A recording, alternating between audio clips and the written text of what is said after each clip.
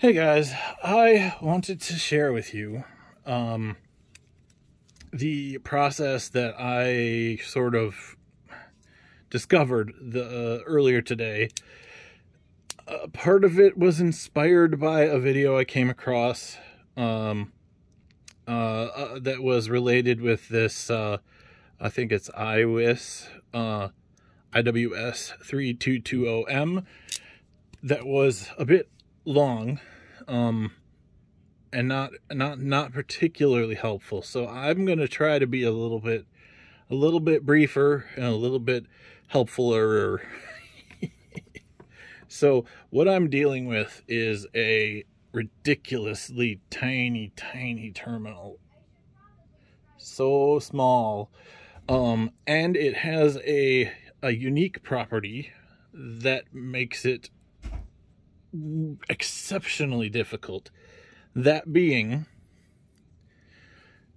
give me one sec here, I'll draw you a picture. The terminal is, uh, it's shaped like, like this. It's a pin, really. So it's got its pin part, and then it has a, a little tab that sticks up like this then it has the part that crimps the wire. Then it has the parts that crimp the um, insulation. Normally, if you put, with these things, when you put them in, normally when you put terminals and crimpers, uh, you can, you, you can put the whole thing inside the crimper and it'll, you know, crimp along here, but you can't crimp this thing. It's got to stay. so you have to be very careful to put uh, make sure that this is sticking out of the crimper. This is impossible to do using the normal method. Normal method being you you insert the um, trying to see if I've got a small uh, or a, a, a larger one I can demonstrate. I do not. The I do. All right, here we go. So the the the typical process, even with a, a relatively small terminal like this, is to stick it, stick it. Oh, let's get a little closer. You want to see that? Stick it in here lock it in place. Then you take your wire. Here's a wire. You strip it just uh, just a little bit, like right about there. Pow. That's good. You strip it. You uh, you want to twist those wires. If you don't twist them, uh, bad things will happen. It's kind of like crossing the streams. Got to twist the wires. So you got that. Uh, you got your terminal in there inside the, the crimper.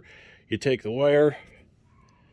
You, you, you stick the wire. You point it down at the bottom of the terminal. Slide it in till it stops. And then crimp. Squeeze, crimp. Now, these terminals are a little uh, bigger uh, longer than for this. This is this is a thin a thin crimper, so I have to crimp these guys twice. But there you go. It's uh perfectly crimped, pretty much. um, now, if you were to try to do the same thing with this, oh my goodness, this is just so small. Just look at this. Look at the size difference on these guys.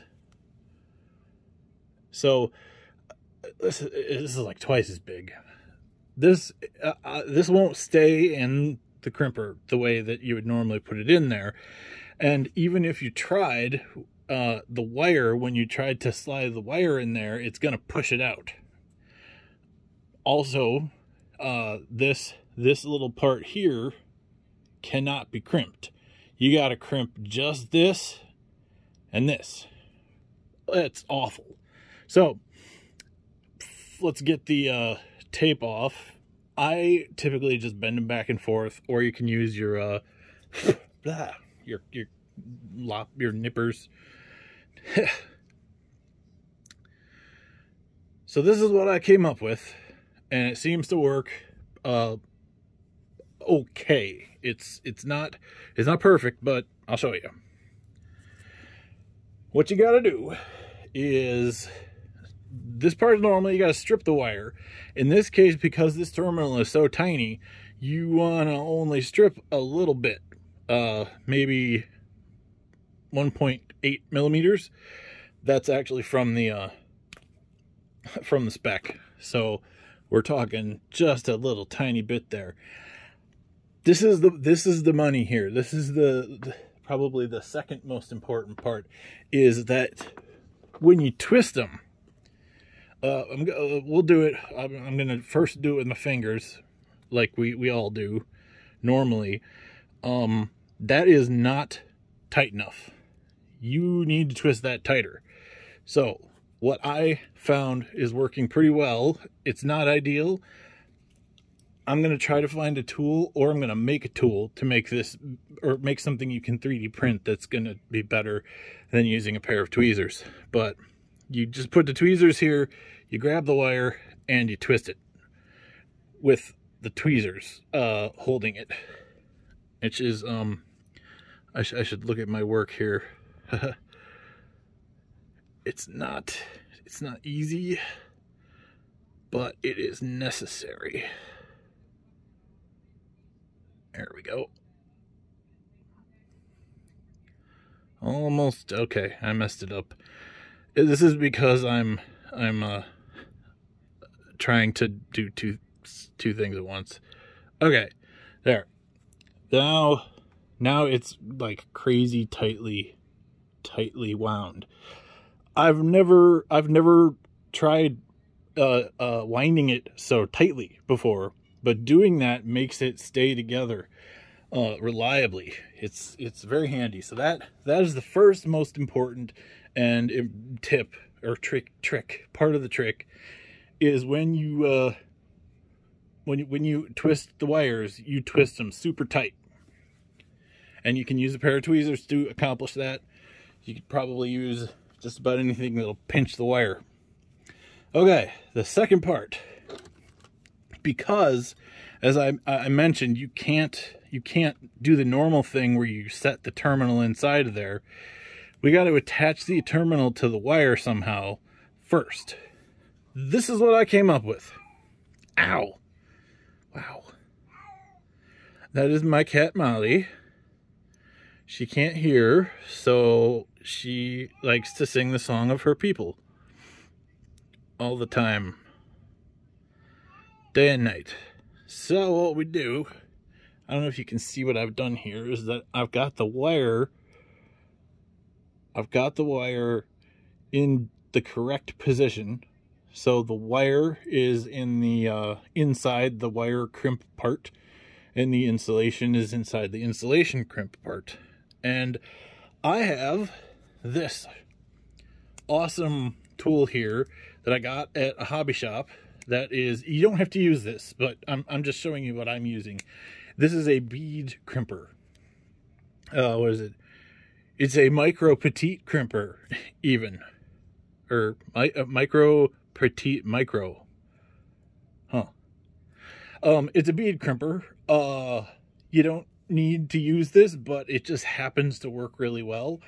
Um, you could use a pair of those uh, needle nose pliers that's what I would recommend uh, if you have some around.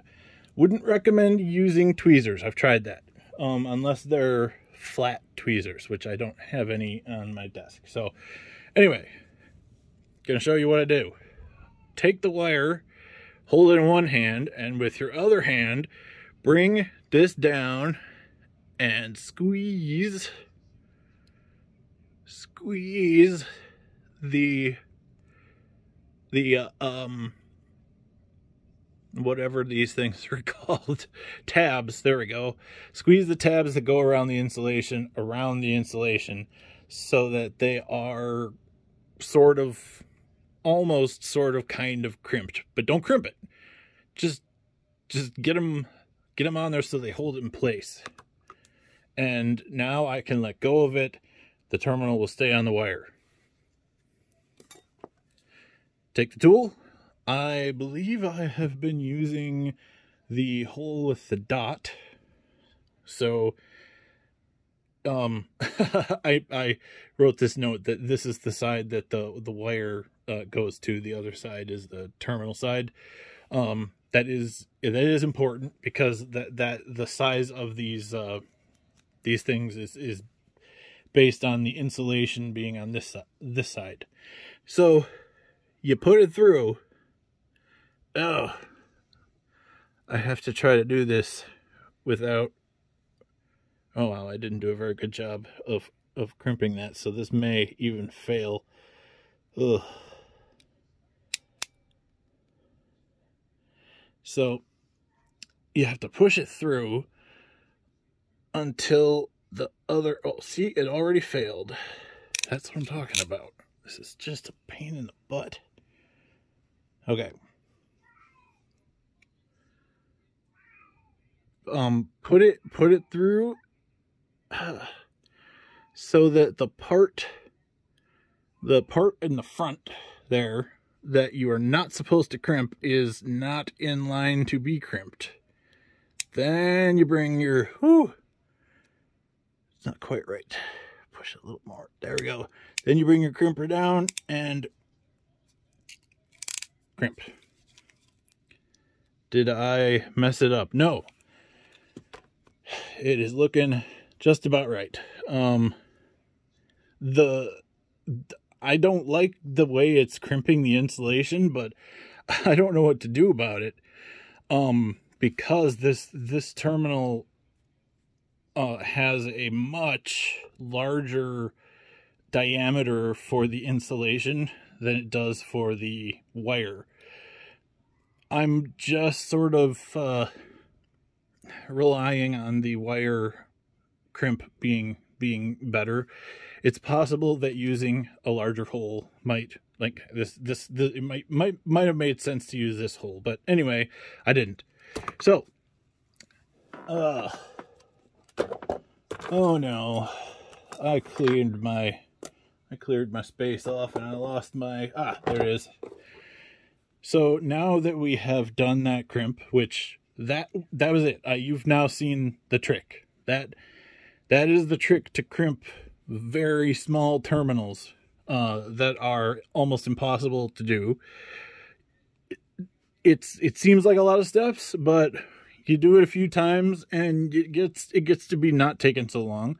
And then finally, uh, if you were using this particular uh, set of terminals and terminal housings, that that tab that you uh, did not smush that tab is actually a stop.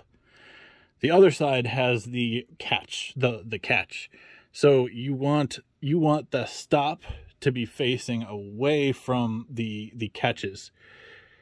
And you insert it.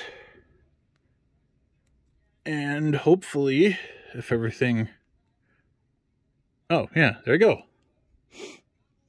Now it's uh latched in place and uh ready to uh, be soldered to a circuit board.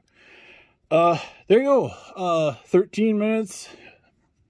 I would have liked for it to be closer to five, but this will do. So I hope that I, uh, uh, that this helps someone out there. Um, cause I have been struggling with these terminals for days. Uh, so there you go. Um, as always, thanks for watching and have a great day.